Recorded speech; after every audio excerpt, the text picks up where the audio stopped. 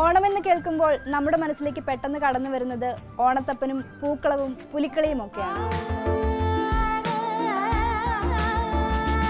എന്നാൽ ഓണസദ്യയെക്കുറിച്ച് പറഞ്ഞാലോ? നമ്മൾ മലയാളികൾക്ക് ഓണസദ്യ കഴിഞ്ഞേ മറ്റെന്തുമുള്ളൂ? ഓണരുചിമേളം. ശനിയാഴ്ചകളിൽ ഉച്ചയ്ക്ക് ഒരു മണിക്ക്